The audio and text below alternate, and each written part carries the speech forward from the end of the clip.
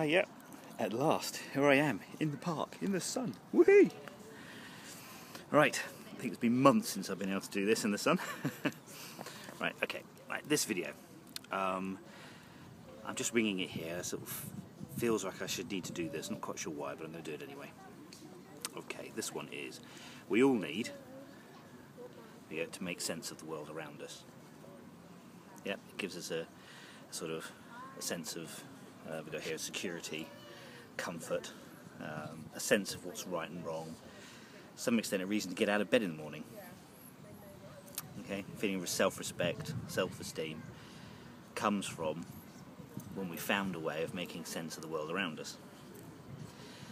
Okay, because when we don't make sense of the world around us, we feel insecure and uncomfortable and all the negatives. So what I've found is, is that, especially when I was younger, and I was seeking the need to make sense of the world, looking back on it, I now see that I had a choice to make, a simplified choice.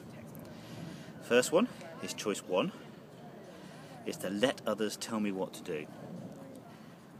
Yep, so I let other people tell me what to do, I do it, and I get my sense of security, and the world makes sense around me because I just do what I'm told to do, everything feels sensible and comfortable. Okay? My other choice is to make my own choices, to choose for myself. Okay, now this is much more uncertain, much more unnerving, and much more scary because I'm going to have to find my own way. That's okay. You're going to tell him in a park. Run away, baby. anyway, um, where was I? Oh yeah, so this was quite a scary one because I got to basically find my own way of making sense in the world. But it's still a choice, so make my own choices, or let others tell me what to do, do what they tell me to do. Okay? This is obviously the easy option. Okay? But a consequence of just going up to, say, my parents or a teacher or someone says, tell me what to do, and I do it, then I feel comfortable and they reward me and they say, well done, and they love me. Is that's comfortable and it's easy, but the consequence of that choice is it comes with a fear of rejection. What happens if I can't won't do what someone tells me to do? So if I don't do what my parents say, if I don't do what my teachers say to do, I'm going to get told off. I'm going to have a sense of rejection. Okay? So I can obviously avoid that sense of rejection by getting really, really good at doing what I'm told to do. The better I am at doing what I'm told to do, the more loved I feel. But of course, the consequence of that is, is what happens if, say, a teacher asks me to do something that I can't do, or don't want to do, or doesn't work for me. I'm forced into a situation where I'm going to get rejected. Yeah? I can't avoid rejection if I can't do something a teacher or parent tells me what to do. Or a manager for that case as I get older. Okay? And that's the consequence of constant fear of rejection. Whereas, okay, go to choice two, make my own choices. Now, the significant consequence of that are one, I might make a bad choice, I'll make a choice I regret, or if I've got too many choices, I'll just run away and not make a choice. Um, for me, the standard is these mobile phone tariffs, there's millions of them. so I just go with the same tariff when I could get much better phone if I changed. Yep, so too many choices means I don't make a choice. I can make a choice that I regret. The second I've made it, I think, damn it, I should have done something else. Or I can make a bad choice that effectively gives negative consequences to myself and other people.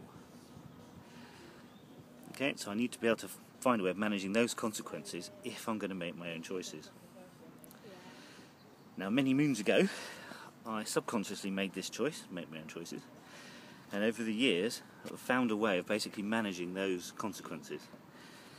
And I'm calling that process, haven't written it down, how to simplify a choice. So I simplify my choices. And if I simplify my choices, I mitigate those two consequ- those consequences, which makes choice two an easy one to make. Okay? So, so now all I'm saying is, I guess, if we want to make sense of the world, we have a choice let others tell us what to do, which carries the fear of rejection,